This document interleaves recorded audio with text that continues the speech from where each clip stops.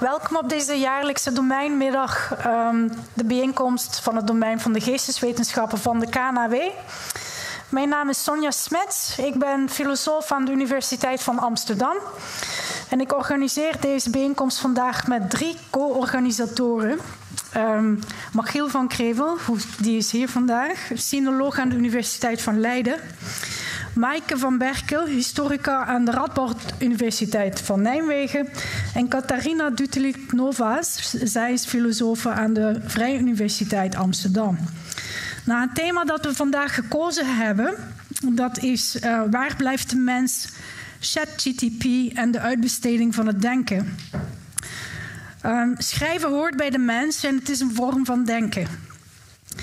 Maar de opkomst van chatbots, uh, zoals ChatGTP, dat roept allerlei vragen op. En recent zijn heel wat opiniestukken hierover verschenen in de krant en het domineert het nieuws. Nu, waarom is dit zo belangrijk? Nou, deze chatbots zijn heel goed om met de mens in een dialoog te treden. Ze zijn zelfs zo goed dat we niet meer weten wat het verschil is tussen een tekst geschreven door de chatbot of geschreven door de mens. Dit zorgt voor een grote vooruitgang in de artificiële intelligentie. Artificiële intelligentie die ten dienste kan staan voor de mens. Het kan zeker ons ondersteunen in allerlei taken, schrijfwerk, opzoekwerk. Maar hoe, hoe creatief kan zo'n chatbot zijn? Hoe goed zijn de gedichten die de chatbot schrijft? Zijn ze zo goed dat we nu spreken over een competitie tussen de mens en een chatbot? Of spreken we eerder van een ondersteuning bij het schrijven door een chatbot? Wat betekent de uitbesteding van het schrijven voor de autoriteit of de authenticiteit van de tekst? Hoe interpreteren we het geschreven woord als de mens niet meer de schrijver is? De chatbot kan dan wel schrijven, dat is zeker, maar daarom nog niet denken en ook niet reflecteren. Dus waar liggen de grenzen van zo'n chatbot wat kan zo'n ding doen en wat kunnen we verwachten? Wat kunnen we vandaag verwachten en wat kunnen we morgen verwachten? We hebben reeds gezien dat de implementatie van zulke chatbots in zoekmachines uh, zorgwekkend verloopt. Ze zijn zeker ook in staat om op zeer onvriendelijke wijze heel beledigende stukjes tekst te schrijven die heel wat emoties oproepen. Dus er zijn zeker valkuilen de argumentatie die ChatGTP gebruikt is niet altijd logisch onderbouwd. Het slaat wiskundige bewijzen de mist in, het verkondigt feitelijke onjuistheden en onwaarheden. Het komt allemaal heel overtuigend over, maar dat wil niet zeggen dat we erop kunnen vertrouwen. Kortom, wat is de impact voor ons, voor de schrijver en voor de denker? Waar blijft de mens? ChatGTP produceert op afroep zeeën van tekst die allemaal menselijk aandoen. Is dat een vloek of een zegen voor wie en waarom? We hebben vandaag een panel uitgenodigd om samen met ons hierover na te denken. Ik wil graag even het panel aan jullie voorstellen. Uh, we hebben Jelle Zuidema uitgenodigd. Hij is taaltechnoloog en cognitiewetenschapper aan de Universiteit van Amsterdam.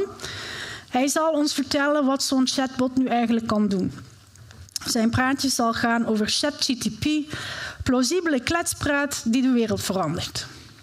Vervolgens zal um, Hanne van Binsbergen het woord nemen. Zij is dichteres en schrijfster uit Amsterdam.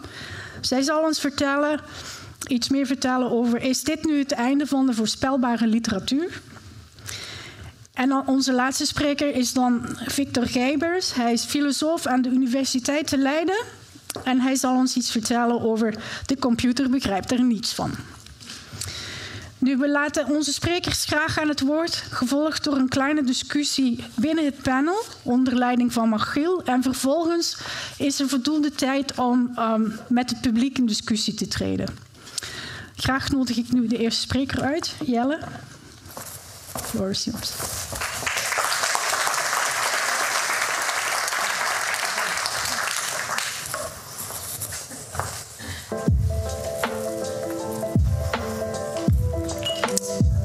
Hier ziet u ChatGPT aan het werk. Um, Ik ben uh, Jelle Zuidema, ik ben uh, universitair ho hoofddocent uh, Natural Language Processing, natuurlijke taalverwerking. Dus het vakgebied dat dit soort modellen bestudeert. En dat is een vakgebied dat in de afgelopen jaren een enorme revolutie heeft doorgemaakt. Dat heel veel werk heeft opgeleverd voor ons, ook heel veel interessante momenten. Um, en een van de dingen die er gebeurd is, is dat de modellen die waar we mee werken bijna allemaal op deep learning gebaseerd zijn en enorm groot zijn geworden. Het zijn zelflerende modellen die, uh, die, die, uh, die enorm zijn. Uh, die de afgelopen vier jaar, vier, vijf jaar uh, op een exponentiële curve zaten. In 2018 hadden ze 100 miljoen parameters. In 2020 gingen, ze, gingen, we, ging het in de honderden miljarden parameters. Uh, en ze leren, ze zijn zelflerende systemen, ze leren ook van honderden miljarden woorden. Dus, dus dat is orders van grootte groter dan, uh, dan de, de, de, de, hoeveelheid tekst of de hoeveelheid taal uh, die een kind uh, tot, tot zich neemt als hij taal leert. Um, en wat we hebben gezien is dat, en wat we hebben ontdekt in, die, in de afgelopen jaren, is dat die, als die modellen zo ontzettend groot worden, dat ze nieuwe vaardigheden gaan vertonen. Uh, vaardigheden die we, dat noemen we dan vaak emergentie. Dat woord is ineens weer helemaal populair. Um, vaardigheden die we nooit hadden verwacht, dat je die uh, op, met, met relatief eenvoudig criterium, als het voorspellen van hoe een, hoe een zin verder gaat, zomaar gratis voor, voor niks cadeau kon krijgen. En uh, vaardigheden die ook ver de klassieke doelstellingen van mijn vakgebied uh, uh, te, boven, te boven gaan. En dus u heeft in de afgelopen weken uh, op, in allerlei media, op allerlei fora, uh, waarschijnlijk al heel veel voorbeelden gezien. Um, om toch een beetje in de sfeer te komen, zal ik er een, paar laten zien. Er zullen er nog veel meer volgen vandaag. Uh, maar mijn collega Simon Greenhall, een, een, historisch taalkundige, die vroeg: maak eens een grap over mijn vakgebied aan ChatGPT, het model wat in november 2022 de hele wereld toonde wat er, in, wat er aan, aan, de gang was in mijn, mijn vakgebied. En die, die de grap waar ChatGPT mee komt is... Why did the historical linguist refuse to share his data? He, his data. Because he wanted to keep it in the past tense. Nou, niet een hele goede grap. Uh, maar uh, je kunt je afvragen, is deze grap nou... Staat die in de trainingsdata? Waarschijnlijk niet, daar is die een beetje te slecht voor. maar er zit natuurlijk wel in de trainingsdata... in die eindeloze hoeveelheid tekst die dat model heeft gezien... wel zoiets van, why did chicken cross the road? En dan associatief kun je daar wat woorden invullen die kennelijk iets met taalkundige en met historische, historische vakgebieden te maken hebben. Um, uh, en, uh, wat dit weekend, daar moest ik dan wel om lachen, ging er, nog rond een, poging van een andere collega, Ethan Mollick, die vroeg om, om het bij, Bijbelboek Genesis is te hertalen, te presenteren als een, als, als een corporate memo. en dan krijgen we zoiets. Um, Uh, dear team, I'm pleased to share with you the progress of our creation project um, uh, for the past week. Here's a summary of what we have accomplished so far. On day one, we initiated the light and darkness differentiation process. We branded the light as day and the darkness as night. This was a major milestone for our project as it established the basic framework for our work environment. On day two, we implemented a dome in the midst of the waters. En zo gaat het maar door. Dus uh, de, de, de, hele tekst is, is erg grappig. En dit is een lange tekst en kunnen we allemaal vrolijk om lachen. Maar er zit natuurlijk ook een meer, uh, een meer donkere kant aan deze technologie. En dat is dat het lang niet altijd correct is. Dus ik vroeg hem bijvoorbeeld ook uh, zelf eens dit: van, uh, schrijf eens een vergelijking tussen menselijke taal en vogelzang. en met, met die prompt moet je dan een beetje mee spelen om een, een interessante tekst te laten genereren. En dan genereert hij een tekst waar aan het einde staat: Similarly, it has been suggested that the dialectical variations in human language may be the result of genetic or factors that affect language development. Uh, dat, is, dat, is, dat, is, totale onzin. Dit rekenen we natuurlijk fout. Er zit geen genetische component in, in die, die, die, die, die uh, het Brabants-Nederlands anders maakt dan het Gronings-Nederlands. Uh, maar dat genereert hij, die, genereert hij toch heel, met, met heel veel zelfvertrouwen. Daar ontbreekt het dit, de, dit technologie niet aan. Oké, en we hebben dus gezien dat dat, het vaak, dat het fout kan gaan, dat het goed kan gaan. En dat het, uh, we zien in de afgelopen uh, weken ook al ontstaan dat er talloze voorbeelden, talloze toepassingen van deze technologie gaan zijn. Dus we hebben, we hebben gezien dat, het, dat iedereen het al heeft over de toepassingen in het zoeken. En de paniek die er bij Google is uitgebroken, omdat eindelijk de concurrenten een kans hebben om in te gaan breken op hun, op hun hegemonie. We hebben gezien paniek bij de middelbare school docenten en, uh, en, college professors over dat scholieren en studenten het massaal zijn gaan gebruiken om hun huiswerk mee te maken. En niet alleen ta-essays, maar ook vooral wiskunde, sommetjes, opdrachten. Alles, alles gaat in, wordt in chat, aan ChatGPT gevraagd. En er kan ook weer een goede kant aan zitten, natuurlijk, dat we educatieve software kunnen maken die veel beter de studenten kan geven waar ze, waar ze behoefte aan hebben. Um, uh, programmeurs uh, gebruiken het al massaal. Uh, productiviteit in het bedrijfsleven zijn mensen erg optimistisch over. in de journalistiek zijn vooral de bazen heel optimistisch dat ze al hun journalisten kunnen ontslaan. En hoe kan dit nou toch? Wat is nou, hoe, hoe, werkt deze, hoe werken dit soort modellen? Dus ik, eh, ik heb maar een paar minuten vandaag, dus ik wil eh, in hele grote lijnen even schetsen uh, waar, waar dit model zijn kracht vandaan haalt. En er zijn eigenlijk drie fases en die hebben allemaal met machine learning te maken. Allemaal met, de, met die deep learning technieken van de laatste tien jaar. Eén is, en dat is de kostbaarste fase, en de, de, waar de grootste getallen bij mee gemoeid zijn, machine, machine la leren uit bestaande tekst. Het model is getraind voor maanden en maanden. Uh, dat is het GPT-3-model wat hierachter ligt. Op onvoorstelbare hoeveelheid tekst.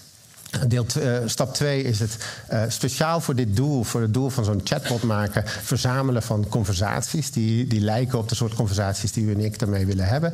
En stap 3 is dan vervolgens ook de feedback vragen aan die mensen en het model nog verder aanpassen uh, daaraan. Dus even in iets meer detail. Stel, ik heb een stuk tekst en ik heb hier één zinnetje genomen, nog, een, nog niet eens een compleet zinnetje. It's hot, open the. En u kunt allemaal het volgende woord raden. en dat is uiteindelijk het mechanisme waar, dit, waar, waar deze technologie, eh, die, die, die, die, die technologie gebruikt, over en over en over again, raden wat het volgende woord zou kunnen zijn. Wat wat we doen? We geven dit, dit stukje, het begin van een zin, aan, aan het model. Het model gaat ermee mee, mee rekenen. En in, in, het begin is het model ontzettend slecht. Dus het, het weet totaal niet wat het moet voorspellen. Maar het komt toch met een voorspelling. Dus het zou ask kunnen voorspellen, of door, of window, of what. Uh, en dan uh, daar is een bepaalde uh, kansdistributie. en dan berekenen we of die het, of die het goed heeft uitgerekend of, of niet. En we passen de parameters, een van die 175 miljard parameters, aan. of niet, niet één, allemaal. We passen ze allemaal aan bij ieder woord. Het is waanzinnig veel rekentijd die erin gaat zitten om dit model beter te maken. En dit, dit was in 2020, midden in de lockdown, de grote ehm, Um, de grote verrassing. Uh, moet eventjes, daar in het midden heb ik nu een heel klein taalmodelletje voor u uh, weergegeven met een paar notes. Uh, dat is in werkelijkheid een vrij een iets complexer formalisme, algoritme. Dit heet de transformer architectuur. Daar zal ik u vandaag niet meer lastigvallen hoe die, hoe die in alle detail werkt. En, uh, dit, dit, is het, uh, dit is het uh, GPT-3-model uit 2020. en dat duurde al maanden om te trainen op computerclusters. En Microsoft heeft zich hiermee ingekocht door die computers beschikbaar te stellen aan het Californische bedrijf OpenAI, die dit voor ons heeft gebouwd. Deel 2 is vervolgens dan het verzamelen van conversaties. Die, uh, die, het, uh, die, die, die lijken op wat je wil doen. En dan wordt het opnieuw op dezelfde manier, op, specifiek op die conversaties getra getraind. Dat heet dan fine-tuning. en deel 3 is het trainen met menselijke feedback. dus er worden voorbeelden gegenereerd. Er wordt aan mensen gevraagd. In dit geval waren, blijken dat ook Keniaanse ondercontractors te zijn die dat allemaal hebben geannoteerd. die, die, die worden gevraagd dan om die, om die conversaties te, te beoordelen en te aan, aan, te geven wat er goed en wat er, wat er minder goed aan is. Uh, vervolgens uh, verzamelen we dat en vervolgens bouwen we daaruit een, wat dan heet een preference model. En dat wordt dan weer in dat model gevoed om al die 175 miljard gewichtjes weer verder aan te passen. Oké, dat is een hele grote lijnen hoe, hoe, hoe dit werkt. Uh, Nu weet u natuurlijk nog steeds niet hoe u er zelf een moet bouwen. Um, dat, dat, is ook, uh, dat is misschien ook niet zo heel erg. Uh, je kunt je afvragen hoeveel moeten we nou echt, echt in die techniek duiken om te weten van, uh, om die conversaties over de impact op de maatschappij die deze technologie heeft te voeren. Um, en daarvoor, daar, daar zit ik veel over na te denken. Want ik zit af, luister af en toe naar een podcast. En dan, in het begin uh, werd ik af en toe nog wel eens gebeld. Uh, en ook mijn collega's uh, in, de, in de natuurlijke taalverwerking. Maar tegenwoordig nu zie je ineens dat al die tech-redacteuren van de kranten... die vinden dat ze dat prima zelf kunnen uitleggen hoe het model werkt. En, en iedereen, aan alles en iedereen heeft er een mening over. En af en toe voel, je, voel ik me een beetje een soort mini-miniatuur...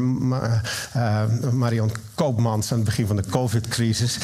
iedereen heeft een mening over mijn vakgebied. En dat is, uh, dat is eigenlijk heel mooi dat er zoveel discussie is. Maar zijn er niet ook bepaalde onderwerpen nog waarvan je wel echt, echt die techniek erachter uh, moet weten? En ik denk dat, er, uh, dat, dat het heel goed is dat we het gesprek aangaan. Ik zie ook erg uit naar de paneldiscussie later. Maar er zijn dan wel degelijk soort dingen waar, je, waar je nog weer even iets dieper in die techniek moet gaan duiken voordat je dat kan beantwoorden. Bijvoorbeeld er zijn een hoop uh, enthousiastelingen die denken dat we deze, dit soort modellen binnenkort uh, blind kunnen gaan vertrouwen. Als het nu al zo goed is, hoe goed zal het dan volgend jaar wel niet zijn? Uh, dus een populair antwoord: kijk maar hoe snel het gaat. Het correcte antwoord is nee. er zit een fundamenteel probleem. Waarheid is een bijproduct van het, het, het, optimaliseren op wat waarschijnlijk het vervolg van een zinnetje is en wat u graag wilt horen. maar de waarheid is niet een soort is niet, is, is niet een fundamenteel ontwerpprincipe van deze technologie. Dus het correcte antwoord is nee. Kunnen we betrouwbaar detecteren of de tekst door uh, dit soort uh, technologie gegenereerd is? Ja, kijk maar, uh, die TechGPT scoort 97,7 procent. Ja, maar dan moet u wel weten in welke context die, die meting is gedaan. Is dat in, een, in de context van samenwerking of in een context van een scholier die probeert om alle dit, soort filters te omzeilen? En dat zit niet in, dat, in het antwoord. Het correcte antwoord nee, dit wordt echt heel problematisch. En dat geldt voor een hele hoop anderen. Moeten we ze verbieden? Ja, elke vorm van LM is eigenlijk gewoon uh, plagiaat. Uh, ja, elke vorm van creativiteit is bijvoorbeeld uitgesloten. Uh, als je wat dieper in die technologie duikt, dan, dan, kloppen ook die antwoorden eigenlijk niet. Want het is, er zijn wel degelijk creatieve uitkomsten die het model kan, kan leveren. Kunnen we ze tegenhouden? Ja, je moet het gewoon reguleren. Nee, want het is allemaal geopen sourced. Kunnen we de LLM's reguleren? nee, want het zijn per definitie black boxen. toch, toch wel, we kunnen wel degelijk iets doen. Uh, en daar moeten we echt discussie over hebben. Moeten we het reguleren? Uh, nee, want dan verliezen we van Europa, de VS en China. Uh, ja, we kunnen wel degelijk reguleren zonder dat we de strijd gaan, gaan winnen. Dus dat is mijn voorschot op de discussie. conclusie dit soort modellen gaan de wereld veranderen. Ze zijn heel disruptief. Maar ze zijn geoptimaliseerd voor het voorspellen van een vervolg van een stuk tekst... over wat mensen willen horen. Uh, en uh, alles waar we geïnteresseerd zijn, zoals kennis van semantieke, grammatica, tekststructuur... maar ook waarheid en redeneervermogens... zijn bijproducten en niet een doel op zich geweest. En regulering is mogelijk en noodzakelijk... maar moet gebeuren in een, in een goede dialoog met de techniek. Dank u wel.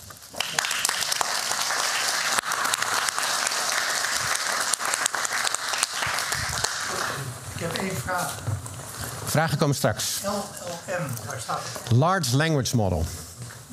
Dat is deze, ja, dat is de meer generieke term. Maar je mag er best ChatGPT voor invullen. Uh, nou, hallo allemaal. Um, ik voel me een klein beetje bezwaard om hier als niet-expert uh, over te gaan beginnen. Dus uh, ik ben zeker niet de Marion Koopmans van dit verhaal. Maar ik ben wel iemand die um, eigenlijk mijn geld puur verdien met het genereren van teksten. Dus ik ben iemand die me misschien bedreigd zou moeten voelen door dit gegeven. Toch is dat niet zo. En dat ga ik vandaag aan jullie uitleggen. Um, ja, dus ik ga het hebben over taalmodellen. Dus deze LLM's, Large Language Models, en wat die voor invloed hebben op de literatuur.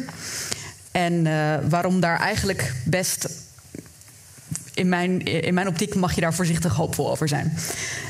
ik heb zelf de laatste tijd best wel wat geëxperimenteerd met ChatGPT en met OpenAI allerlei vragen gesteld, uh, geprobeerd om die computer te verleiden tot het maken van mooie teksten.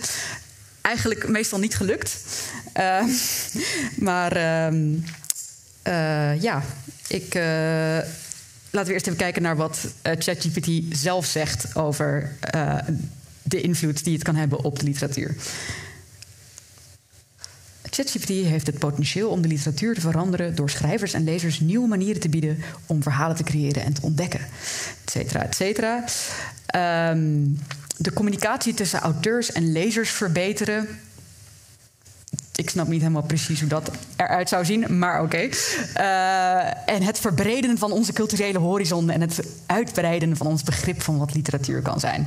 Goed, dit is uh, wat uh, ChatGPT denkt dat ik wil horen. Want hoe werkt dit? We hebben het net uitvoerig gehoord. Maar dus wat belangrijk is om te onthouden, is dat ChatGPT dus. Um, zowel op basis van de database die het nou ja, waar het over beschikt, um, tekst genereert. Uh, maar dus ook onthoudt wat jij als gebruiker uh, al in eerdere chats gezegd hebt of uh, aangepast hebt of wel of niet goed hebt gevonden. Um, en daarnaast is het ook zo dat er uh, dus user feedback is. Dus er zijn mensen, gebruikers zoals jij en ik, die nu uh, een vraag stellen aan ChatGPT kunnen zeggen: Dit was een goed antwoord, dit is een slecht antwoord, probeer het nog maar een keer. Maar er zijn ook uh, enorm veel werkers die op dit moment bezig zijn om ChatGPT op te schonen en te zorgen dat het gebruiksvriendelijker wordt. Dus dat, er, dat de teksten die gegenereerd worden um, mensen niet te veel chockeren of beledigen. Um, nou, dat uh, leek me belangrijk om ook even te vermelden. Dat we, zijn, staan heel vaak zijn we geneigd om te denken dat zo'n digitaal wonder, dat dat, ja, dat dat eigenlijk een, soort dat dat een, soort puur uh, proces is waar geen menselijke arbeid aan te pas komt. Maar daar komt heel veel menselijke arbeid aan te pas. Um, ik uh, uh, schreef een e-mail aan de event manager van dit, deze middag. En uh, ik denk dat het een, dat, uh, een goede vergelijking, is ook al eerder te sprake gekomen, is de voorspellende tekstfunctie in, die veel mensen op hun smartphone hebben. Dus ik schrijf uh, beste of ik schrijf best. En, hij denkt, de, en dan krijg ik de suggestie: moet het niet beste zijn, moet het niet besteld zijn. Um, ik denk als gebruiker van uh, taal en als iemand die uh, ja, erg veel schriftelijk moet communiceren, ben ik eigenlijk um, best wel blij met deze innovatie. Uh, ik weet niet of uh, veel mensen last hebben van een soort horror-vacui-gevoel. op het moment dat je teksten moet produceren, dat als er nog niks is, dat dat een, een, uh, een horde is waar moeilijk overheen te komen is. Ik heb dat met e-mails, maar ik heb het ook met mijn literaire werk. Dan kan het heel fijn zijn als je gewoon de computer iets kan laten genereren en dan zelf als redacteur daar overheen kan gaan met je gedachten. Maar. Um, net als dat uh, er in deze voorspellende taalfunctie. Uh, de het gewenste resultaat is niet een resultaat dat aanzet tot nadenken of dat uh, ja, wat, je niet had voorzien. Het gewenste resultaat is natuurlijk juist iets wat extreem herkenbaar en voorspelbaar is. Dus op het moment dat we literatuur willen maken en niet een e-mail schrijven over een simpele vraag, zit het een beetje anders. En uh, als ik na moet denken over wat, het, wat, het, wat de gevolgen kunnen zijn voor de ontwikkeling van literatuur. Um, van deze nieuwe innovatie, moet ik eigenlijk denken aan uh, de uitvinding van de fotografie in 1839. Um, wat jullie hier zien is een schilderij van Edouard Manet. En Manet was een, uh, uh, een kunstschilder, uiteraard. Maar ook iemand die de ontwikkelingen van de fotografie met groot enthousiasme volgde. En eigenlijk een enorme, enorm veel mogelijkheden zag in deze nieuwe vorm, deze nieuwe en directe vorm van beeld creëren.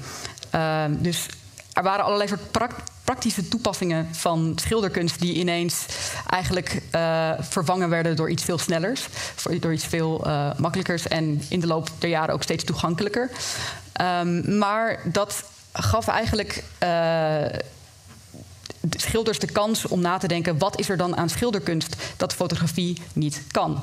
Wat, wat is er specifiek aan schilderkunst? Dus dat, er zit een soort emancipatoire beweging in. Dus emancipatie in de zin van ook afsnijding van, het, uh, van de praktische taak van schilderkunst. En daardoor is, volgens mij, is het volgens mij mogelijk geworden dat uh, abstracte schilderkunst is ontstaan. Dat mensen uh, zich zijn gaan concentreren op wat je met een foto niet kan vangen. Bijvoorbeeld verandering, groei, emoties, sferen. En dat in dit beeld zie je ook nog iets anders. Dat is namelijk dat het. Um, een bijzonder plat beeld is. Manet stond daar onbekend dat hij uh, eigenlijk het platte vlak uh, als, niet als een. Um, niet als iets wat je, wat je um, eigenlijk moest verhullen door perspectief aan te brengen en uh, schaduw, et cetera. Maar juist als iets wat je um, in zijn waarde moest laten in een schilderij. En ik denk dat onze taak als schrijvers op dit moment is om de aspecten van, uh, van literatuurproductie te vinden uh, die wij kunnen en die een computer niet kan met zijn vanzelfsprekende vloeiende gebabbel. Uh, nou, ik nam de proef even op de som. Uh, ik heb uh, verschillende vragen gesteld aan, aan ChatGPT. En dit is wat hij maakt van de vraag: schrijf een gedicht van zes regels in de stijl van Lucebert. Ik weet niet of jullie allemaal bekend zijn met het werk van Lucebert, maar dit lijkt er niet op. ik vond het, wat ik wel frappant vond, was dat het woord bekouwen, uh, voor zover ik en de dikke vandalen weten, geen Nederlands woord is. Maar het is dus wel een woord dat qua morfologie kan doorgaan voor Nederlands. En uh, ja, dat. Dat, dat, is iets waar ik als schrijver van aanga. Waarvan ik denk, oh, dat, dat is interessant. Blijkbaar kan het dat soort um, taal produceren. Waarschijnlijk komt het hier voort uit uh, de, de dwang van de rijm. Waar hij dat trouwens vandaan haalt, geen idee. Want zoveel rijm, rijm gebruikt Lucibert helemaal niet. Um, maar dit was, ik moet heel eerlijk zeggen dat dit echt een van de betere pogingen is. Uh, die, uh, die ik met ChatGPT heb geproduceerd. Ik heb ook meerdere malen gevraagd of de computer een gedicht in mijn eigen stijl wilde schrijven. Nou, die zijn helemaal verschrikkelijk. Soms zelfs wel zonder rijm. Maar bijvoorbeeld, toch ligt zij daar te bloeien, vond ik best een leuke regel. Ja, dus als we teruggaan naar uh, dat voorbeeld van uh, de fotografie, dan denk ik dat er eigenlijk twee mogelijkheden zijn op dit moment. Dus um, je kunt aan de ene kant meegaan met deze nieuwe manier van taal produceren, teksten produceren, en die eigenlijk voor je laten werken. En wat ik dan ook nog een interessant voorbeeld daarvan vind, is dat op het moment dat uh, de fotografie um, nou ja, uitgevonden werd en een beetje verbreid werd, uh, gingen mensen ook, schilders ook kijken naar wat specifiek was aan het soort beelden dat fotografen maakten. Die dus heel, en, en welke dingen je eigenlijk nooit als schilder zou doen. Dus bijvoorbeeld, uh, ik denk dat veel mensen de schilderij van Breitner wel kennen, waarbij uh, een, ja, je ziet een, een, een, straat en er is een, je ziet een paar vrouwen lopen en er is één vrouw die is eigenlijk. Uh, heel vaag in beeld omdat ze te dicht bij de camera staat. Nou, dat is iets dat zie je niet in het echt en dat zie je niet met schilderkunst, maar dat is juist iets wat uh, die Breitner geschilderd heeft, omdat hij dit, op een foto, dit effect op een foto heeft gezien en dat interessant vond. Ik denk dat er eigenaardigheden zijn um, die zo'n uh, large language model heeft, die zijn er ongetwijfeld, die specifiek misgaan op een manier die waarbij, mensen, uh, waarbij het bij mensen niet misgaat. En dat zijn interessante dingen om, uh, voor mensen om dan weer als uitgangspunt van uh, nieuwe creatieve uitingen te nemen. En mijn tweede, het tweede voorbeeld is dat we ons juist als schrijvers concentreren op alles wat deze, deze AI niet kan en wij wel. En wat ze niet kunnen, nou ja, ze kunnen niet nadenken, ze kunnen niet uh, verrassen en ze kunnen niet um, ons. Uh, um, ja, ze, heb, ze hebben eigenlijk geen toegang tot alles wat nieuw is. En voor mij gaat literatuur en poëzie heel erg over een beweging richting het nieuwe. En alles wat zo'n zo'n LLM kan, is het verschillend combineren van bronmateriaal. Uh, en dat, dat is iets waar wij dan als mensen, als kunstenaars uit kunnen breken. En een alternatief tegenover kunnen stellen. Ik heb een uh, gevraagd om een afscheidsboodschap aan jullie te schrijven. Ik vind het. Uh, het is allemaal erg. erg zoetsappig. Goed.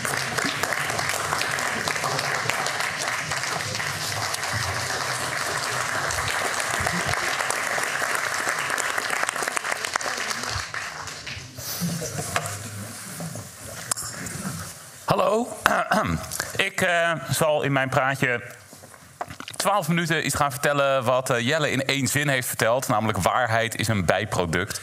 Uh, vanuit het, het, perspectief van de kennisleer in de filosofie.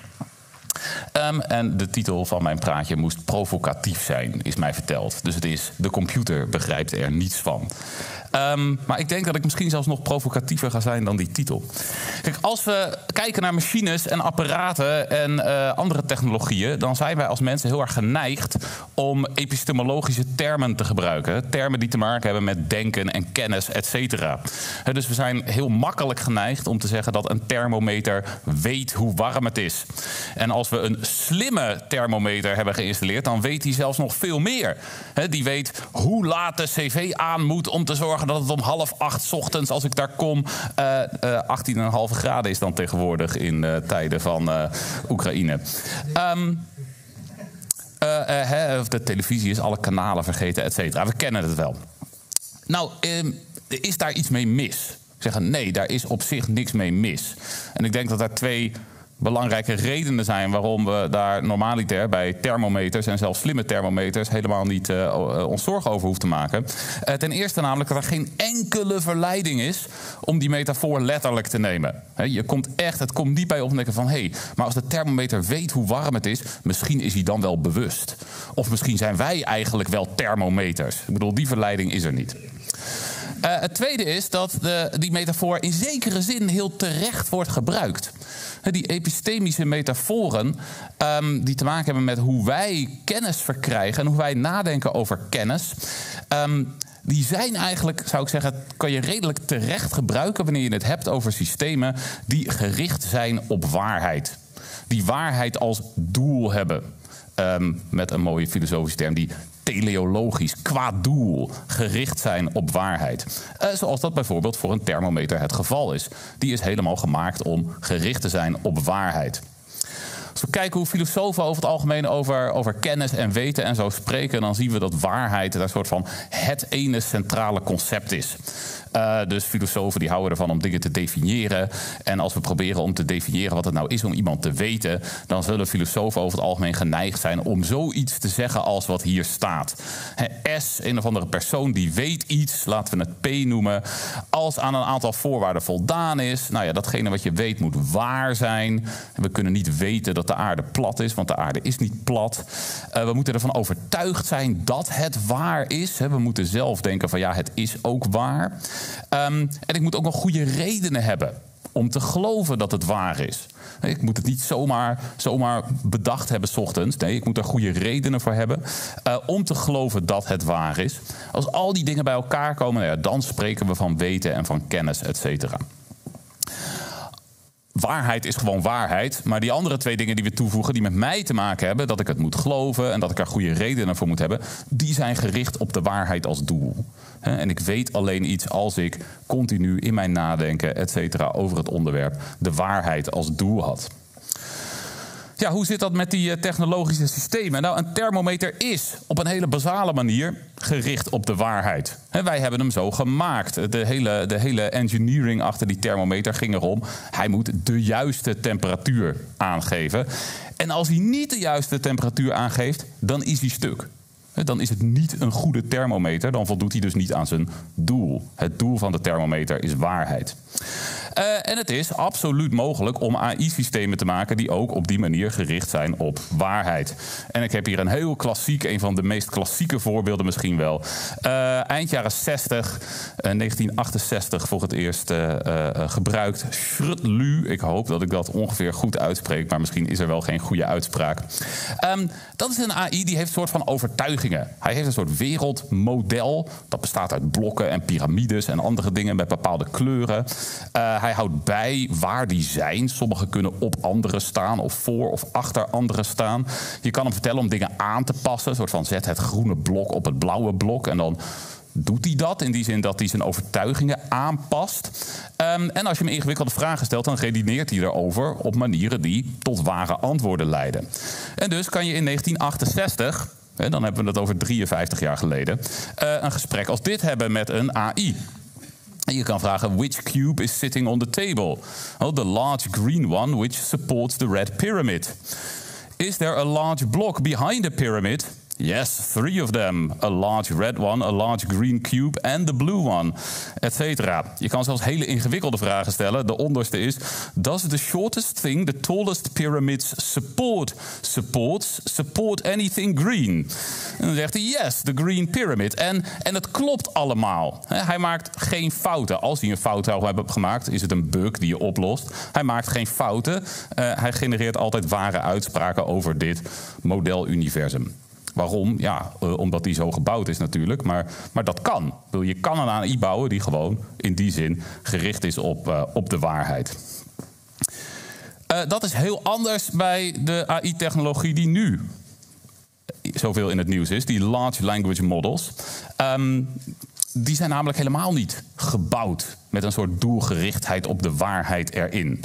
Die zijn getraind, we hebben het net al in uh, meer detail gehoord, uh, op zoiets als voorspelling van het volgende woord. Je geeft hem een tekst, hij genereert het volgende woord. Uh, of hij genereert eigenlijk, hij heeft een soort idee over hoe groot de kans is op de volgende woorden. En je kan hem vertellen hoe hij daar, daaruit moet kiezen. Moet hij altijd het meest waarschijnlijke nemen? Nou, dan krijg je hele flauwe teksten. Dus hij neemt meestal juist een iets minder waarschijnlijk woord. Maar dat is waar hij op gebouwd is, dat hij, waar, hij, waar hij op getraind is. Dus alle connecties in dat netwerk van neuronen, tussen aanhalingstekens, um, zijn gecreëerd om te zorgen dat hij goed is in voorspellen hoe teksten verder gaan.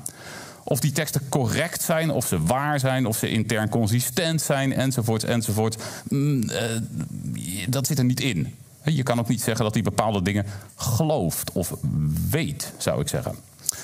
Um, wat zo ongelooflijk indrukwekkend is aan dit soort modellen, uh, is dat ze zo algemeen zijn. Je kan alles doen. Je neemt, die, neemt dat ding en je zegt: schrijf een gedicht in de stijl van Lucebert. Nou, daar is hij misschien niet zo heel goed in, maar hij probeert het.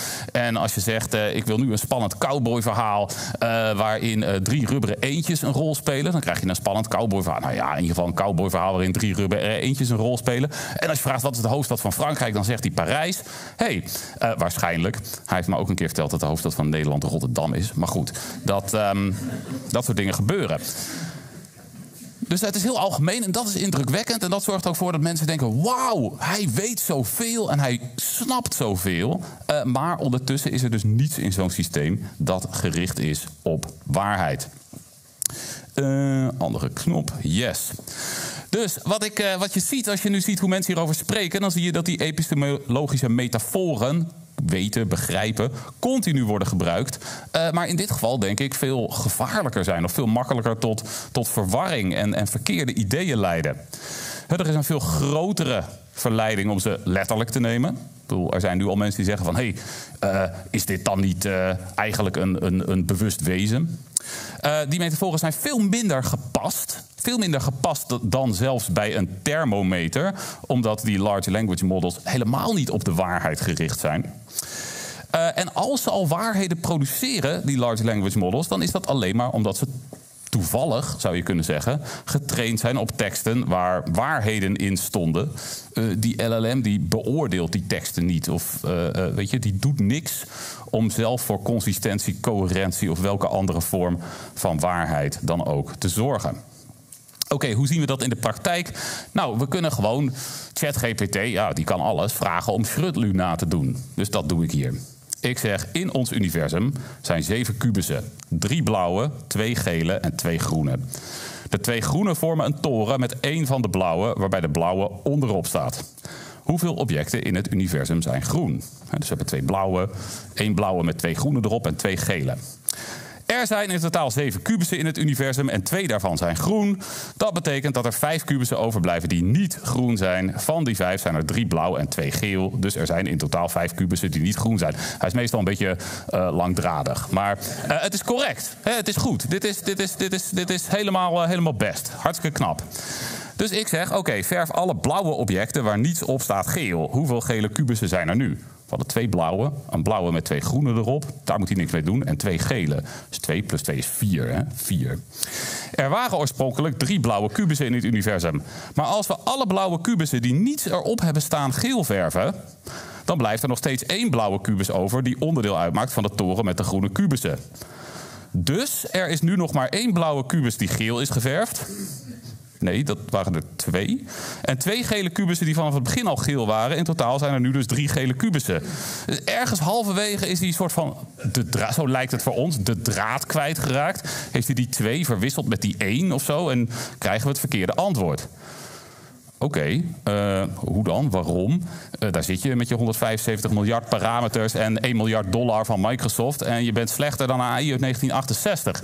Nou ja, nee. Ja, je bent slechter als waarheidssysteem. als het erom gaat dat ik ware uitspraken over zo'n, in zo'n taak doe, dan ben ik slechter dan AU uit 1968. Um, maar dat is een oneigenlijke maatstaf. dat is net zoiets als de speelgoedklok van mijn kinderen, waarmee ze kunnen leren klok kijken, doordat je de wijzers ergens op kan zetten. En dan kunnen ze zeggen: hé, hey, het is half drie.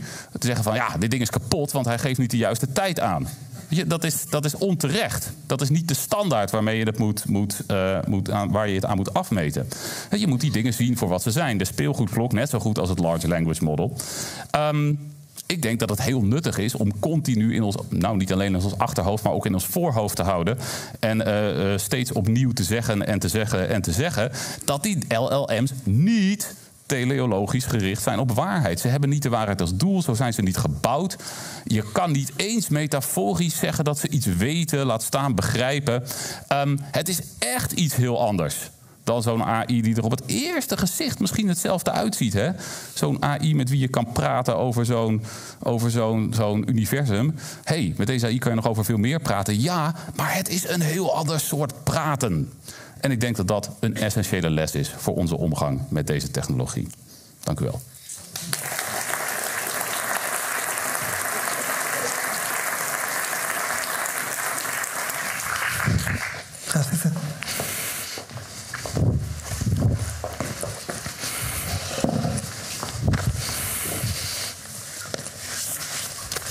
Ja, het uh, duizelt me een beetje. Eerst die waarheid.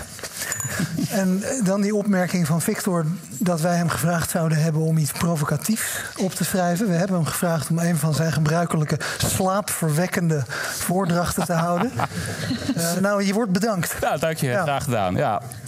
Um, en ik wilde eigenlijk, ik voel me vandaag een beetje een algoritme. Uh, een bescheiden algoritme, heel simpel.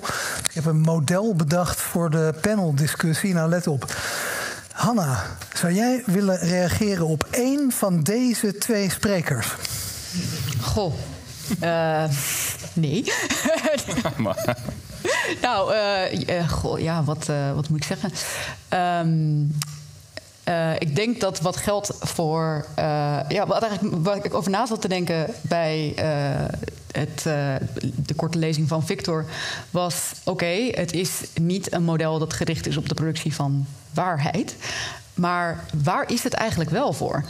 En dat. Um, ja, ik, ik uh, we weten natuurlijk allemaal wat het doet. Maar waarvoor is het geoptimaliseerd? Wat zou het uh, het beste moeten doen? Is dat zeg maar e-mail schrijven?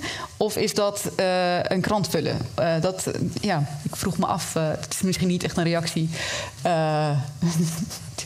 ik zeg niet dat hij ongelijk heeft of zo. Maar dat was, dat was wat me bezig hield tijdens die lezing. Ja, dankjewel. Um, en ja, het is een beetje voorspelbaar, maar ja, nu is Victor aan de beurt. En jij mag ook kiezen op wie je reageert.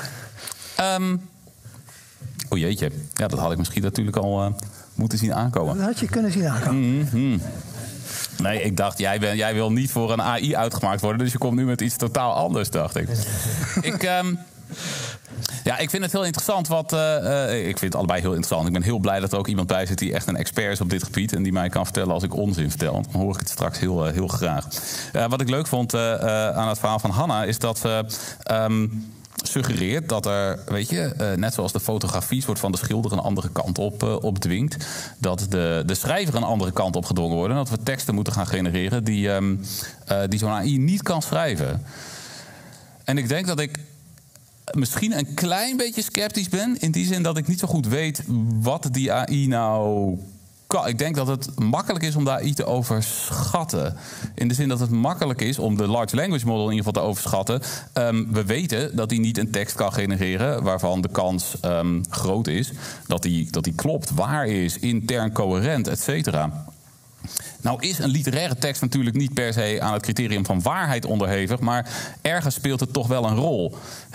De meeste romans bijvoorbeeld zijn in ieder geval soort van intern coherent. En dat hoeft niet. Maar als het niet zo is, heeft een auteur er meestal goed over nagedacht. waar wil ik um, bijvoorbeeld de onbetrouwbaarheid van mijn verteller aantonen... door te, weet je, door te gaan schuiven met die waarheden, et cetera. Uh, dus ik vraag me af in hoeverre die large language models nu zelfs redelijk voorspelbare teksten al kunnen genereren. Ja, nou ja, daar zitten we dan. Uh, alweer een vraag. En het wordt nu heel lastig. Want ja, dan moet ik eigenlijk, om bij die eenvoud te blijven, aan Jelle vragen of hij wil reageren op een van jullie beiden. Maar jullie hebben al op elkaar gereageerd. Dus ik loop nu vast. Kan jij op jezelf reageren? hey, dan, loop ik ook, dan loop ik ook vast. Hey, wat ik, ik vond de, eh, alle twee de andere uh, uh, presentaties ook heel leuk. En uh, ik, ik, vond de, ik vond ook die, die, die metafoor van, van de schilderkunst vond ik, uh, inspirerend. Dat het inderdaad. maar ik had dezelfde vraag van: oké, ik weet ook nog niet precies, maar dat, misschien is daar ook een echte kunstenaar voor nodig om dan, om dan te bedenken hoe, we dat, hoe de kunstenaar er echt op moet gaan reageren. Dat, dat kunnen wij niet hier eventjes ter plekke bedenken. Um, uh, maar dus, uh, in, in, in, het, in de, de laatste presentatie, daar ben ik het natuurlijk heel erg mee eens dat die waarheid geen, geen ontwerpdoelstelling is. Maar ik ben wel een beetje bang dat we, dat we soms ook door kunnen schieten in die, uh, in die vaststelling. Uh, dat, uh, dat het ook weer. Er is, er is ook, mensen spreken nu soms ook van de dangers of underclaiming. Weet je, er is ook, je, kunt, je kunt vaststellen van oké, ze, ze kunnen dit allemaal niet. En het is best makkelijk nu om voorbeelden te vinden om het model te breken. Het is best makkelijk om, om, om, om hem onzin te laten genereren. Maar tegelijkertijd, als ook, ook in jouw voorbeeld aan het einde, uh, denk ik, het is ook fascinerend dat hij, dat hij dus, terwijl hij geoptimaliseerd is voor het genereren van het volgende woord, hè, zoals we dat hebben besproken, dat hij als neveneffect van, dat, uh, van die doelstelling zo ontzettend veel uh, uh, vaardigheden heeft ontwikkeld die, we in ieder geval, die wij als mensen in ieder geval geneigd zijn als te omschrijven als kennis en redeneren. Hè, dus dus in, in de, de redenering ging de mist in ergens over de. Maar ik, ik, ik moet zeggen, ik kon het ook niet helemaal volgen hoeveel hoeveel, hoeveel gele driehoeken er op, op, op, op, blauwe kubussen stonden. Hij was daar best uh, menselijk. Dat was uh, ja, ja. Dus, dus, uh, dus, dus ik denk dat we dus niet moeten doorschieten om te zeggen van... oké, het heeft helemaal niets met redeneren en met kennis en, te maken. Want er, er, zit wel degelijk een interessante approximatie van, van die vaardigheden in deze systemen. Die ergens, net zoals alle approximaties, ergens wel de mist in gaat. Dat zijn eigenlijk alle drie reacties. Net als uh, de voordrachten waar je ook een hele middag over zou kunnen praten. We hebben trouwens ook aan de sprekers gevraagd om binnen de panelsdiscussie diplomatiek te zijn. Uh, om elkaar wat dat er gaat. Dus niet, niet meteen direct al te hard aan te pakken. Uh, maar nu uh, gooien we het open. Alleen er zijn een paar dingen uh, die we daarbij in de gaten moeten houden. Eén, misbruik ik even mijn uh, spreekrecht als voorzitter.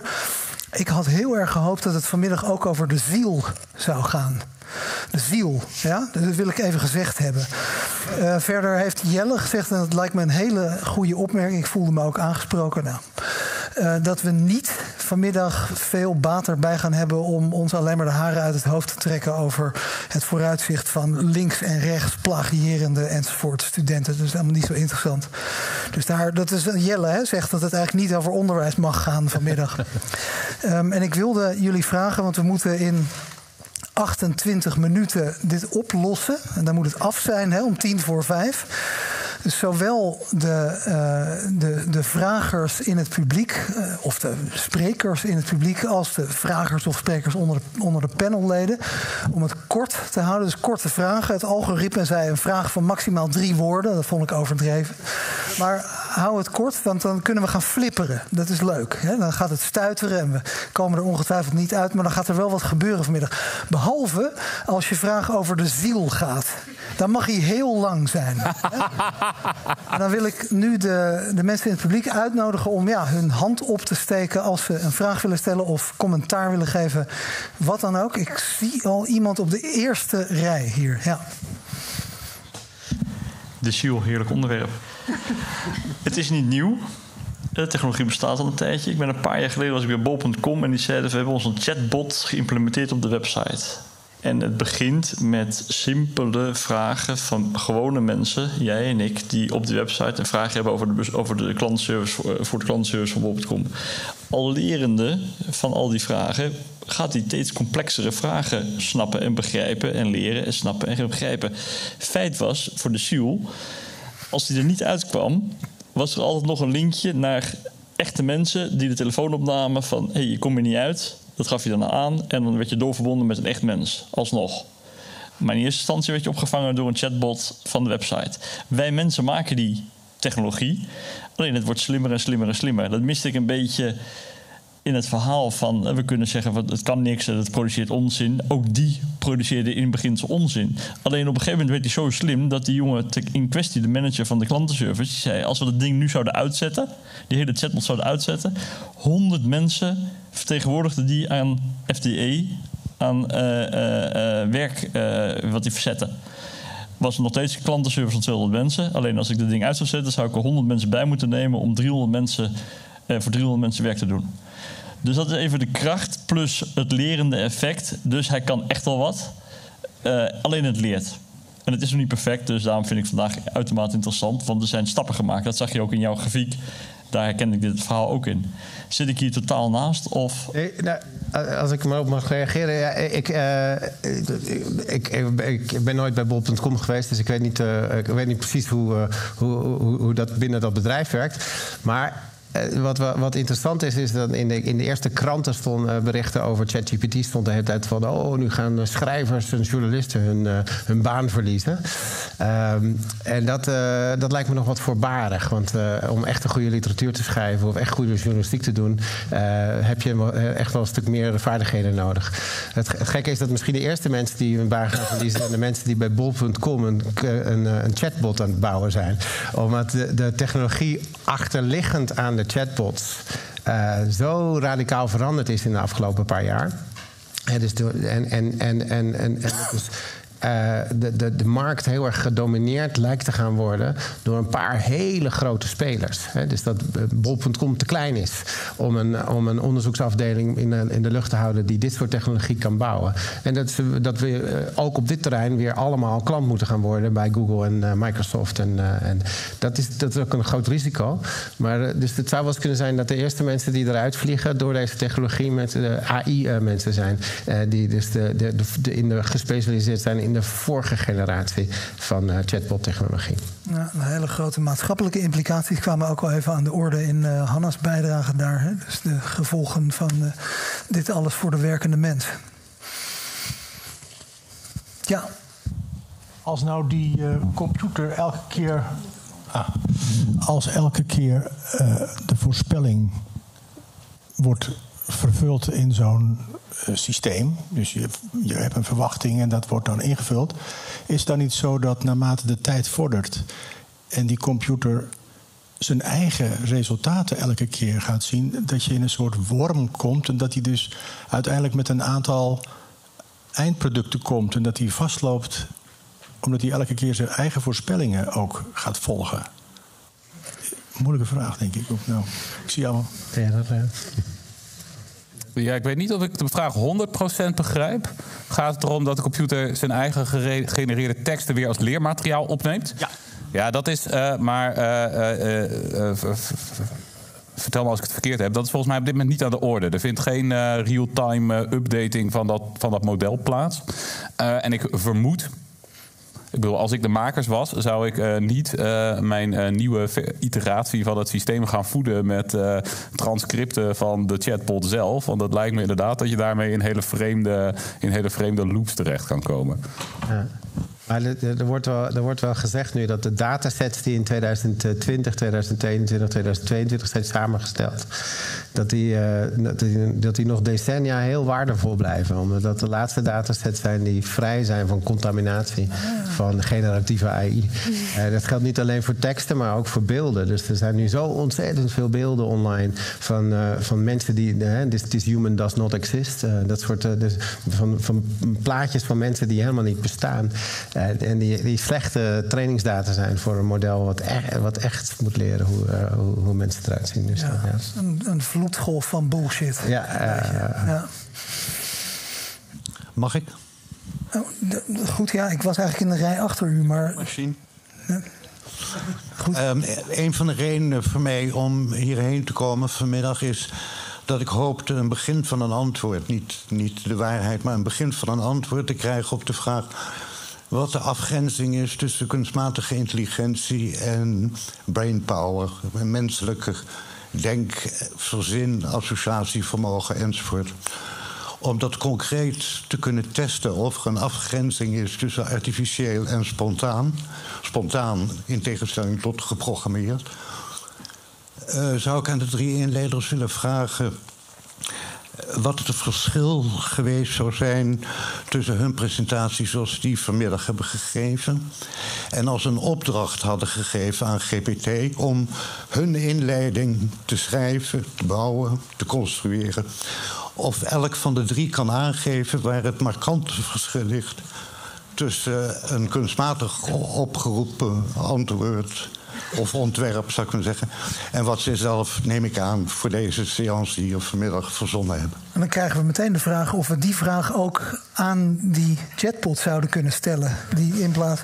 Hanna, wil jij uh, beginnen? Ja, ik heb dat dus eigenlijk ook gedaan. Ik, heb, uh, ik begon mijn, uh, mijn praatje met de vraag die mij gesteld werd aan ChatGPT te stellen. Namelijk, wat gaat ChatGPT voor verandering teweeg brengen in de literatuur?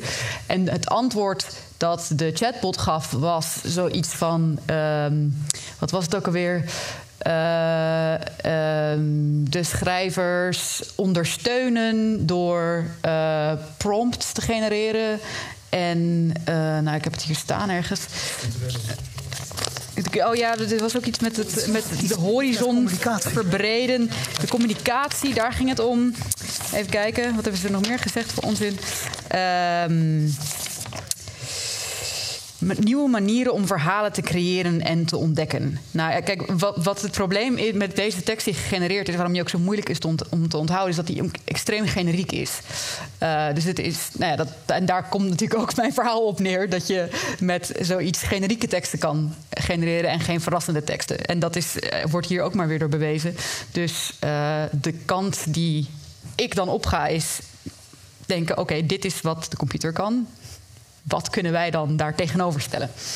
Dat, uh, dat zou mijn antwoord zijn. Dus je ziet ook dat binnen dat model, uh, dus als je die vraag aan, aan die uh, LLM stelt, dat die ook alleen maar blijft binnen de verhouding van het bestaande met zichzelf. En dus niet kan, eigenlijk niet een echte voorspelling kan doen. Oké, ja. Ja, nou, ik wil inderdaad ook wel iets zeggen. Ik, twee dingen. Het eerste is, ik denk dat als je de vraag die ik stelde... Eh, van, uh, hey, uh, ChatGPT, kan jij nou echt denken en weet je iets? die zou die niet beantwoord hebben. Dat wil zeggen, hij geeft wel een antwoord. Hij heeft een soort heel standaard antwoord. Dat denk ik in een soort schil om dat model heen is gemaakt door het bedrijf. Zodat als je hem die vraag stelt, je een min of meer voorgegenereerd antwoord geeft. Denk ik. Want ChatGPT bestaat niet in zijn trainingsdata. Maar goed. Um, wat ik eigenlijk wilde zeggen, wat belangrijk is wat ik wil zeggen. Uh, het verhaal. Uh, je, je AI hebben die hetzelfde verhaal genereert als ik. Waarom niet? Weet je, dat, dat als hij maar genoeg van dit soort verhalen hoort, kan hij ook zo'n verhaal genereren. U heeft mij gehoord en u heeft de. Uh, en dat zeg ik hierbij nog eens toe. Um, u weet dat ik echt mijn best heb gedaan om erover na te denken en met iets te komen dat klopt. En dat creëert een bepaalde verhouding tussen ons die je niet kan hebben met een tekst die gegenereerd is door zo'n large language model. Want die tekst is niet gegenereerd onder de paraplu van: hé, hey, ik moet nu zorgen dat het klopt en dat ik iets vertel wat, wat waar is. Dus ik denk dat er in de verhouding tussen u en mij iets heel anders aan de hand is dan in de verhouding tussen u en de chatbot. Dit ging over de ziel. Ja. Ja. ja. Jelle. Ja, ik heb, uh, laat ik het iets anders antwoorden. Kijk, ik heb, niet, ik heb eigenlijk voor iemand die zoveel de laatste week over ChatGPT moet praten als ik, uh, uh, relatief weinig met het ding zelf gespeeld. en een dingen die, die ons on, onderzoekers natuurlijk ergert aan dit, deze, deze chatbot, is dat het zo'n ges, gesloten systeem is. Hè. Het is gebouwd door OpenAI, maar dat is de ironische naam in de geschiedenis van de, van de wetenschap. Dus het is, het is een gesloten systeem. En, en we weten niet welke filters er allemaal omheen zijn gebouwd. En wat er nou. Dus wij werken veel liever met andere large language models. die wel open zijn. en waar we, maar die, die, die, iets minder indrukwekkend zijn in hun vloeiendheid. Maar waar we echt kunnen controleren wat er, wat er intern gebeurt. En, uh, en ook uh, herhaalbare experimenten kunnen doen. Dus ik heb niet een enorme goede intuïtie over wat het model zou hebben ge gezegd als het dezelfde opdracht had gekregen als ik. Ja. Mooi, mooi eerlijk wetenschappelijk antwoord daar. Ik wou nog even doorgaan over intuïties hebben over waar het heen kan gaan en waar de limieten liggen van deze um, technologie. En ik wilde eigenlijk op, um, op Hanna's verhaal doorgaan. Ik vond het heel mooi wat je zei van nou, bepaalde vormen van onverwachtheid kun je niet nou ja, verwachten van uh, ChatGPT. Um, maar ik heb laatst een collega een hele mooie analogie horen maken naar 2016. Toen hadden we. Uh, hoe het nou ook alweer? Nou, het was een soort van Deep Blue Gary Kasparov, maar dan met Go. Dus er was, uh, Google DeepMind had een, uh, een algoritme ontwikkeld uh, dat dus won van een menselijke Go-speler. En wat in die partij een cruciale zet achteraf bleek te zijn, was een zet waarvan iedereen in real, in real time zei: Dit is absurd. Waarom doet hij dit? Dit is echt dom. Dit is een bug. Hij heeft het niet begrepen. Maar uiteindelijk was dus die totaal onvoorspelbare, rare zet wel datgene waardoor het algoritme um, dat Go-spel heeft um, gewonnen. En ik vond dat heel erg tot de verbeelding spreken, omdat dat zo mooi illustreert dat we eigenlijk misschien ook niet weten in hoeverre wij een monopolie hebben op het onverwachte en op het creatieve. Ja. Dat is misschien niet echt een vraag, maar um, het vraagt misschien wel om een reactie. Ja, ja, ik vind dat een heel mooie toevoeging. En uh, ik denk ook zeker dat. Uh, nou, ik hinte daar al even naar dat juist de dingen die. Um, die de, AI misschien heel anders doet dan wij die zouden doen, dat die ook weer een bron kunnen zijn van uh, inspiratie en uh, creativiteit. Uh, dus net als met dus die vlekken op foto's en zo. Um, ja, maar dat is. ik, ja, ik, ik denk zeker dat je niet kan zeggen dat wij het monopolie hebben op het, op het onverwachte. Nou, en dan krijg je natuurlijk ook de lastige situatie van dat het heel chic is om dan vroeg te zijn in het herkennen van deze nieuwe creativiteit. Dan wordt iedereen heel zenuwachtig. Ik moet het wel zien als het een nieuwe Luce Bert is. Of, nee, dat klopt dan weer niet. Hè? Bert was geen chatbot. Dat denk ik niet. Je hebt wel die familie-chatbot, toch? Bastiaan Chatbot, uh, Bas, hoe heet die? Ja. ja. Ja, daar nog een vraag? Er werd nu in de discussie een paar keer een aantal zaken gesteld. Uh, waarvan je op een gegeven moment kon zeggen van nou, wie stelt moet bewijzen. Uh, en zou dat dan, uh, refererend aan de W van de KNW, niet de vraag moeten zijn van waarom geef je dit antwoord? Wat is je bron? wanneer is wat je zegt niet waar? Een gedicht is geen thermometer. Tegen elkaar kan je zeggen van een gedicht is literatuur en een thermometer is iets, een beta-verhaal. En als de chatbot dat niet vertelt, dan zijn we gauw klaar. Hè? Want dan is het gewoon een uh, gebrabbel. Als die chatbot daar wel positief op reageert, dan heb je in het gunstigste geval een goede directiesecretaris. En jij kan gaan golven. En hij schrijft je jaarspeech of wat dan ook in concept. En gaat dan uh, dat wellicht uh, voor een deel gebruiken. Dus met andere woorden, van, moeten die vragen niet daarna komen. Je moet niet één vraag stellen, maar je moet een set vragen hebben. Wat is je bron? Waarom zeg je dit tegen me? En wanneer is het niet waar mm wat, je, wat je meldt? En dan zou het wel eens kunnen zijn dat het uiteindelijk hij wel gaat leren, omdat hij veel van deze vragen krijgt. En ik heb het gevoel dat bol.com op die manier bezig was. Maar goed, dat is mijn privé mening. Victor, zou jij hierop willen reageren en dan gaan golven? Uh, nou, golven kan ik niet. En uh, ik ga nu iets zeggen, maar de echte expert zit naast mij. Um, vol, voor zover ik het begrijp, kan de large language model je niet vertellen wat zijn bron is. Uh, zo werkt het niet. Bij alles wat hij krijgt worden inderdaad al zijn neuronen geüpdate. En er zit niet een soort log in van... oh, uh, het feit dat ik nu hier, hierop uitkom... dat komt omdat ik toen die en die en die teksten heb, heb gezien of zo. Um, dus de technologie is niet op die manier gebouwd. En je kan natuurlijk wel een, een technologie bouwen die op die manier werkt. Je kan natuurlijk een technologie bouwen die, laten we zeggen, je stelt hem een vraag, hij doorzoekt uh, een heleboel wetenschappelijke papers, haalt daar bepaalde dingen uit. Weet je, verwerkt die misschien ook op een, op een large language model-achtige manier tot een lopend tekstje, maar geeft dan ook die papers aan waar hij zich net op gebaseerd heeft. Maar zo werkt deze technologie niet. Dus er zit ook niet een systeem van redenen of zo in. Het is niet zo dat er ergens in dat systeem 17 redenen waren die hij door heeft gelopen om tot de conclusie te komen die hij nu aan je meedeelt betekent dus geruststelling aan alle docenten. Nee, nee. Nee, nee, want hij kan wel heel goed een tekst genereren waarin redenen worden genoemd. En, en om het nog een beetje wat ingewikkelder te maken, dus je krijgt nu inderdaad, je kan nu inderdaad met ChatGPT, waar we die wat nu allemaal een beetje hebben leren kennen, kun je dus vragen om referenties aan je tekst toe te voegen. Uh, en die fabuleert die, dat is dan de technische term. Ja. Dus er komen referenties bij, maar die kunnen die heel vaak bestaande tijdschriften niet eens waarin die. Uh, maar we hebben, er is inmiddels ook al, zitten wel weer in de volgende fase. Want Microsoft heeft zijn, uh, zijn search engine Bing nu uitgerust met deze technologie. En daar zit een, een, zuster van, uh, van ChatGPT in, een chatbot die, uh, die Sydney heet. Maar dat mogen wij eigenlijk niet weten. Um, en, en, en die werkt iets anders. Die werkt namelijk met hybride. Dus met klassieke zoekmethoden zoeken we eerst de bronnen.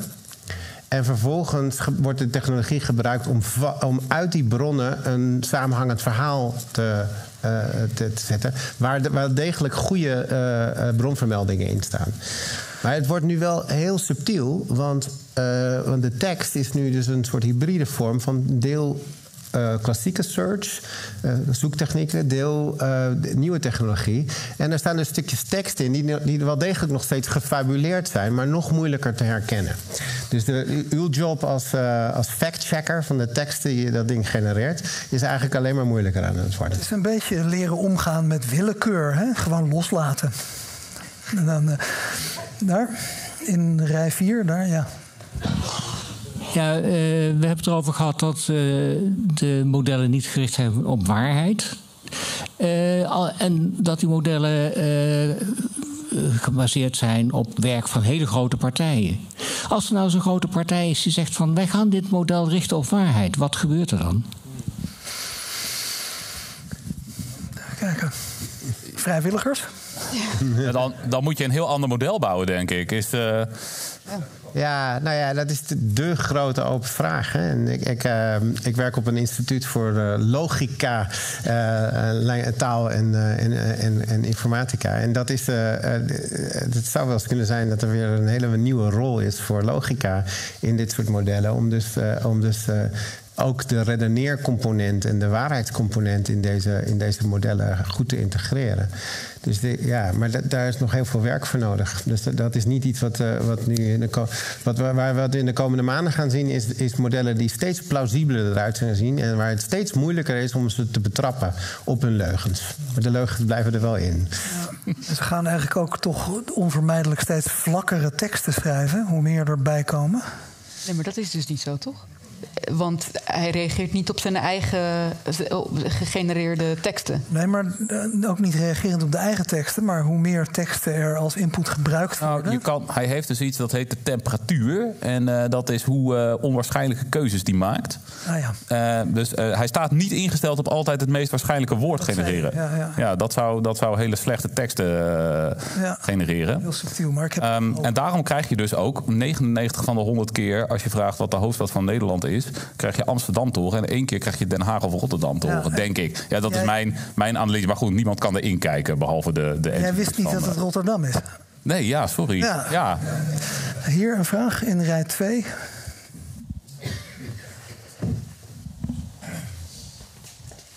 Ja, ik heb een eh, korte vraag. Ik, eh, ik vroeg me namelijk af, eh, want je hebt nu een hele generatie studenten die eh, gaan opgroeien met eh, ChatGPT. En ik vraag me eigenlijk heel erg af wat dit gaat betekenen, betekenen zeker misschien de geesteswetenschappen, waar je heel veel essayvragen altijd hebt, eh, voor hun eh, kritisch denkvermogen of hoe ze zich gaan ontwikkelen. Ja. Ik eh, denk dat jij hier. een goed Iedereen zit naar Victor te Nou, kijken. nou gaat het toch nog over onderwijs, hè? Mag dat wel? Eh, maar, als we- maar goed. Nou ja, ik denk. ehm, eh, kijk, als je. eh, Nou ja, op dit moment is het niet zo dat die, dat die AI, denk ik, echt een, eh, een serieuze eh, 2000, 3000 woorden paper kan genereren. Maar goed, misschien, misschien komt dat. Dat het steeds lastiger wordt om, het, om dat verschil te zien.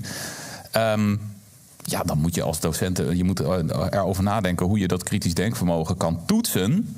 Ik bedoel, stimuleren doe je natuurlijk niet alleen bij het laten schrijven van een essay, maar in elk werkcollege en hopelijk in elk college. Weet je, dat, dat is iets wat elke dag gebeurt. Ja, je wil het ook nog toetsen. En ehm, ja, goed, dat, dat moet dan misschien op een andere manier. En dat, eh, dat kan natuurlijk heel simpel. Namelijk, je zet iemand in een zaal en dan laat je ze iets schrijven. Ik bedoel, zo, zo triviaal is het in zekere zin. Totdat de bionische ogen eh, met ChatGPT-integratie eh, over de toonbank verkrijgbaar zijn. Maar zou het ook zo kunnen zijn dat dit oproept tot een ander gesprek tussen docenten en studenten over deze vragen? En over, over ethische kwesties, maar ook over motivatie? Ik denk dat het nog heel moeilijk ook te voorspellen is waar het naartoe gaat. Maar ik, ik denk dat we. eh, Kijk, er is ook een enorme industrie voor eh, dan eh, edutech heet. Hè, dus educatieve technologie. En, en, en dat is nu vooral rekensommetjes en, en, en woordenlijstjes en, eh, en aardrijkskunde. En ik weet niet wat er. wat, dat, dingen die makkelijk te automatiseren zijn. Maar alles wat met vloeiende zinnen te maken had, is ontzettend moeilijk ge- geweest altijd. Nou, dat komt nu binnen handbereik. Dus we gaan ook, we gaan ook toe naar. Daar komen ook positieve dingen uit. Van de eh, dus, eh, ik weet niet hoe het. Ja, ik vind, ik vind het nakijken van essays, van stapels essays van studenten. ik- Jij vindt dat vast heel erg leuk. Maar, ja, Geweldig. maar Daarvoor dat zit ik op de ja, dat is universiteit. denk ik voor heel veel docenten aan, over de hele wereld... Is dat, echt moe- is dat echt zwaar en moeilijk werk... om al die studenten individuele feedback te geven... op de structuur van hun essays. Nou, dat, wordt, dat is prachtig. Dat komt eraan.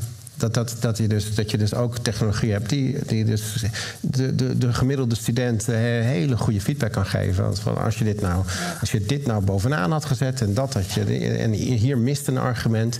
Dat soort dingen dat, eh, dat, dat, dat, kan, dat kunnen we op, op, op, op, bovenop deze chatbot-technologie kunnen we dit soort technologie ook bouwen. Ik zou me kunnen voorstellen dat wat je nu zegt, dat laatste voorbeeld, dat dat voor sommige mensen voelt als een, als een tijdbommetje.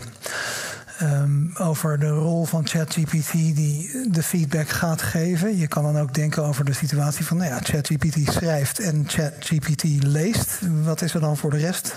En daar, De daar komt die nog- ziel weer eh, Ah, eh, ja. eh, terug.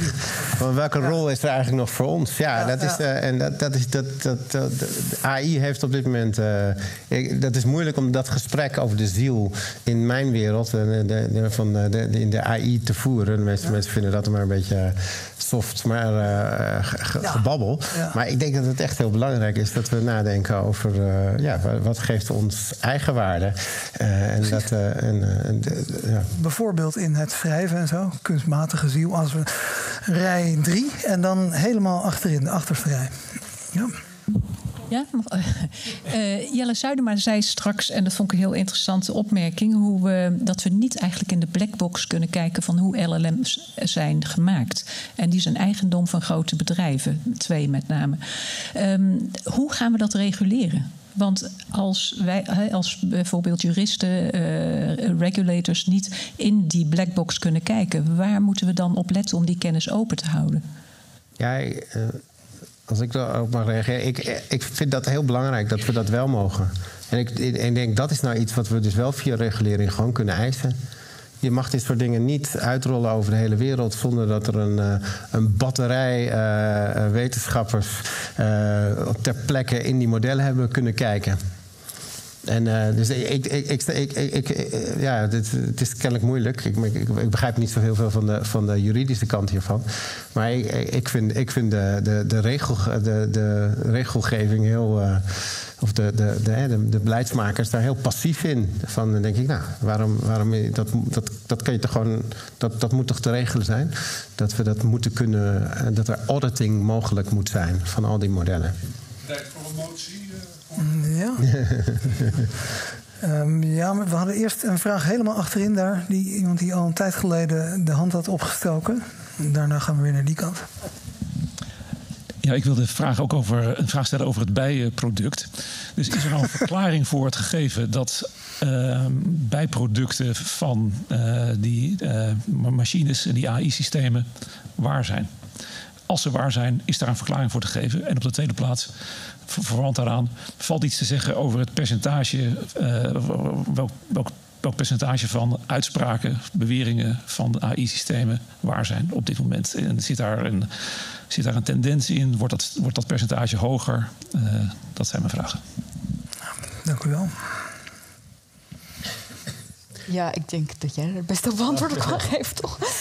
Nou ja, de, de verklaring is, is kijk, eh, eh, wij, wij hebben eigenlijk met z'n allen heel weinig intuïtie over wat er gebeurt als je ongeveer alles wat op internet staat leest. Want het kan, geen, geen van ons allen kunnen die, die, eh, hebben die ervaring. Eh, dus we hebben nu te maken met een, een, generatie technologie die dus eh, drie orders van grootte meer teksten tot zich kan nemen, meer taal tot zich heeft kunnen nemen, waarin allemaal kennis gereflecteerd is, dan, dan, dan ieder mens dat kan. En dan gebeuren er gekke dingen. En dus, dus laat ik zeggen, we hebben, we hebben technologie die probeert zo dicht mogelijk dat, dat, eh, dat, dat te, te, da- daar een, eh, te mimiken. Wat is een Nederlands woord daarvoor? Dus het, eh, na, te bootsen. Eh, dus dus eh, eh, ja, en dan eh, k- kennelijk is het, is het beste model om, om na te bootsen wat mensen op internet doen, is een model waarin impliciet toch de grammatica-regels van het Engels en van het Nederlands en van het Frans eh, en de semantische regels en de fonologische regels, en en, en, maar ook de kennis van de wereld eh, ja, enigszins gerepresenteerd is. Eh, dus dat is, dat is hoe we dat nu begrijpen. Dat het, dat het gewoon de, de beste strategie om mensen na te doen, is net doen alsof je weet, eh, of- alsof je kennis van zaken hebt. Eh, en en, en dat, dat zien we gebeuren. Dus, dus, dus ik, ik, wilde nog wel een nieuwe metafoor inbrengen. Ik vond de, de metafoor van de schilderkunst heel erg mooi. Maar ik heb zelf ook wel eens na zitten denken over de metafoor van de, van de film, eh, de, de opkomst van de film. Waarin je voor het eerst bewegende beelden zag. Bewegende beelden, dat, dat zijn natuurlijk geen bewegende beelden. Het zijn heel veel beeldjes achter elkaar. En ons brein maakt daar een beweging van. En, en zo, zo, zo kijken wij ook naar zo'n chatbot die heel veel taal genereert. En ons brein maakt daar, maakt daar iets van. En, wat we, daar, en we, we, we, schrijven aan zo'n chatbot een soort agency en een soort, eh, een soort eh, intelligentie en een soort eh, toe. Die er niet is. Ja, een beetje de aap en de typemachine. Ja. Dan, ja. Ja, zelfs, zelfs op internet zijn de meeste zinnen grammaticaal en waar. Zelfs op internet? Zelfs op internet, ja. Nou ja, dat is natuurlijk nog wel de vraag. Want weten we eigenlijk iets over die datasets? Ik heb wel eens gelezen dat ze inderdaad afkomstig zijn van het internet. Maar eh, waarschijnlijk niet al het internet. Eh, ja, Jelle, waarschijnlijk zit sowieso heel Wikipedia erin hè, om maar uh, ergens mee te beginnen. Want dat is soort van meteen toegankelijk en grotendeels waar. Uh, maar ja, en heel anglocentrisch waarschijnlijk. Hè? Ja. Oh ja, als je vraagt noem eens tien bekende figuren uit de geschiedenis... dan krijg je eerst drie Amerikaanse presidenten... en dan Napoleon en Einstein. En als bonus op het eind krijg je nog ja. een Gandhi. Omdat ik weet niet of ze hebben geprobeerd dat er één niet-Europeaan niet in moet zitten of zo. Maar, of een aantal lekkere Ja, toen, toen, toen zei ik, oké, okay, maar nu tien beroemde vrouwen. En in die tien beroemde vrouwen zaten drie Egyptische farao's. Uh, Eigenlijk vrouwen waren. Ja, nee, nee ja, Cleopatra en uh, Nefertiti. En, ja, dat, is een, uh, dat is een lobby, dat moet een lobby geweest zijn. Ja. We hebben nog tijd voor twee vragen, denk ik. Eén op de eerste. ja, ik, ik geloof dat. dan komen we zo bij u. Ja, eerst naar de vierde rij, ja? Ja, dankjewel. Um, erg interessante discussie. Ik vind die vraag naar die waarheid eigenlijk helemaal niet zo interessant. Want ik, kan me voorstellen in de loop van de tijd dat gewoon steeds dichter daarbij komt. Want wij met z'n allen zijn het model gewoon dagelijks aan het trainen. En dat, dat wordt ook toegespitst op ieder gebruiker. Dus iedereen, denk ik, gaat in de loop van de tijd zijn eigen waarheid daar steeds weer terug, terugkrijgen. En daar zijn we daar tevreden mee, toch? Het, idee van die creativiteit, daar wil ik ook even nog op terugkomen. Want um, u zei nu betoogd dat, um, um, dat het model eigenlijk alleen maar dingen die al bestaan opnieuw kan samenzetten. Dat wordt meestal verstaan als, waar, uh, als, als creativiteit, als creatief, als, als uh, novité. als dat nog niet eerder daar is geweest. Dus dat is ook eigenlijk creatief in die zin. Vraag is dan waarom hebben wij dat nodig? Maar eigenlijk wil ik graag nogmaals terugkomen op die vraag van hoe gaan wij nou mensen uh, leren kritisch te denken. Want het ging niet om het toetsen, het, ging, het gaat om het denken. Want als wij nu op deze leeftijd kunnen we terugkijken en kunnen dat beoordelen wat uit ChatGPT komt. Maar mensen die nog niet die kennis hebben, die kunnen dat niet. En die, die worden dan daaraan gewend, daardoor dat huiswerk te laten maken. En uh, ja, hoe, nogmaals die vraag van hoe kan, gaan wij hen leren om kritisch te denken als het niet meer nodig is? Toch niet meer nodig? Die hele teksten die komen er nog zo uit. Het is helemaal, dat volstaat prima wat eruit komt. En we hebben het nu nog over ChatGPT 3. Nou ja, de, de, versie 4 komt er zo aan dit jaar. Denk ik, gaat, ik denk dat gaat heel snel heel hard gaan. Ja. Ja, dank u. Uh, dat is een brede, een brede bijdrage. Een aantal, aantal belangrijke punten. Wil een van jullie daar nog op, op ingaan? Op de kwestie creativiteit misschien? Ja, ik daar kan daar wel iets over zeggen. Ik denk dat um, het, uh, een definitie van creativiteit als het combineren van zaken die nog niet eerder met elkaar gecombineerd zijn. Ik denk dat er ook heel veel combinaties mogelijk zijn die niet zinvol zijn of die niet. Uh, toevoegen. Um, dus bijvoorbeeld, ja, je zou een broodrooster kunnen combineren met, um, nou, noem eens wat, een tandenborstel. En dat is niet. Uh, daar heb je niet zoveel aan. Maar ik denk dat de creativiteit er dus in, um, in bestaat om zinvolle combinaties te maken. En ook om dus waarschijnlijk dan die combinatie naar een hoger plan te tillen en daarop door te gaan en misschien uit te leggen waarom dat een zinvolle combinatie is. Ik ben benieuwd misschien uh, uh, waar, waar me eigenlijk heel, uh, heel erg vaak aan moest denken als ik vragen stelde aan ChatGPT, was dat ik een keer, ik heb ooit eens toelating gedaan aan de Rietveld Academie. En nou ja, dan moet je daarheen en dan moet je werk meenemen en dan moet je daar iets over vertellen. Ik had allemaal werk gemaakt en ehm, er waren verschillende toelatingen aan de gang in dezelfde kamer. En ik hoorde achter mij iemand die maar door bleef, praten, over wat hij allemaal had meegenomen. En ik denk dat, uh, dat dat is iets waar ik heel vaak aan moet denken. Dat iemand die gewoon heel veel materiaal kan genereren over een onderwerp. En dat is een, een talent wat ik zelf niet heb.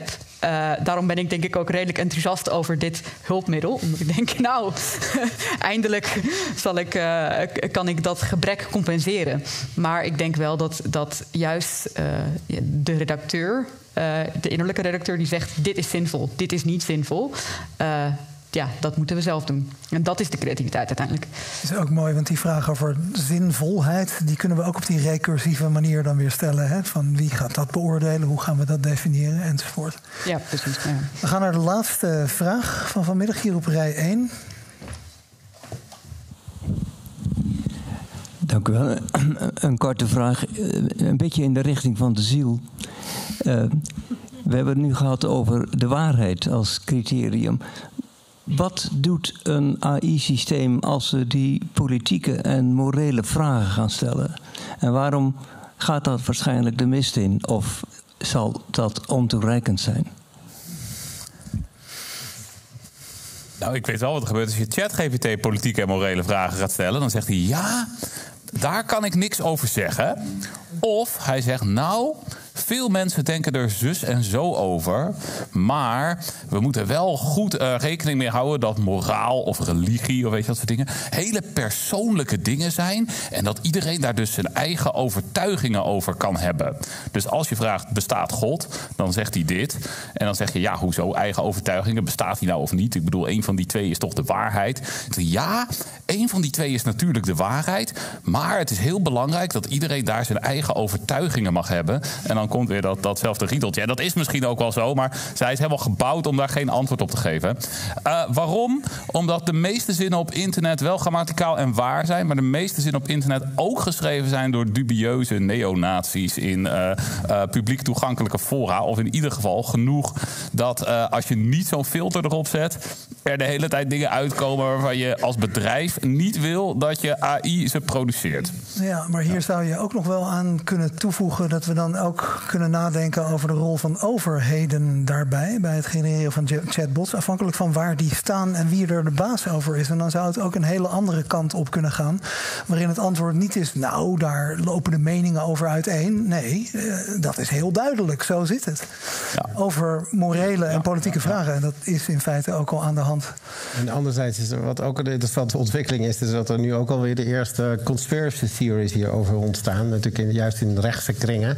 Die, die het gevoel hebben van dat er dus hier een, een superintelligentie uh, opgesloten zit in, een, uh, in, in zo'n ChatGPT chatbot. Uh, dat er eigenlijk de, de, de superintelligentie, de artificiële intelligentie al bestaat.